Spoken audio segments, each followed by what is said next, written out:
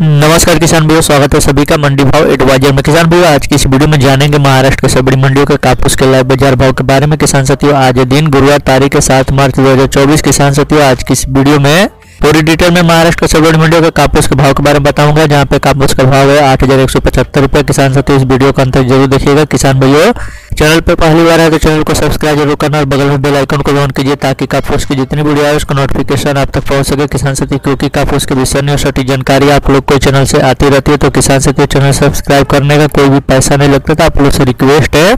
तो चैनल को सब्सक्राइब ज़रूर कर देंगे। वीडियो पसंद है तो वीडियो को लाइक कीजिए और इस वीडियो को ज़्यादा से ज़्यादा शेयर अवश्य करो। चलिए किसान भैया आज का वीडियो शुरू। सबसे पहले बात करेंगे काटोल मंडी की छह हज़ार छह सौ रुपए से लेकर सात हज़ार दो सौ पचास रुपए प्रति क्विंटल। देवलगढ़ मंडी की बात करें, सात हज़ार तीन सौ रुपए से लेकर सात हज़ार नौ सौ रुपए प्रति क्विंटल। मानवत मंडी की बात करें, छह हज़ार सात सौ रुपए से लेकर सात हज़ार नौ सौ बीस रुपए प्रति क्विंटल।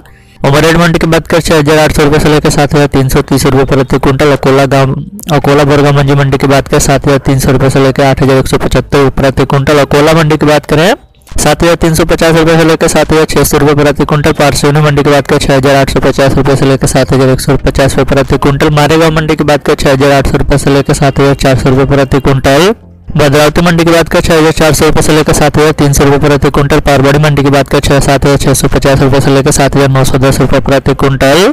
अमरावती मंडी की बात करें, सात हज़ार तीन सौ पचास रुपए से लेकर सात हज़ार चार सौ पचास रुपए प्रति क्विंटल का कापूस का बाज़ार भाव देखने को मिले। किसान से तेज छोटी जानकारी देखने के लिए चैनल को सब्सक्राइब ज़रूर कीजिएगा और इस वीडियो को ज़्यादा से ज़्यादा शेयर अवश्य करें। धन्यवाद।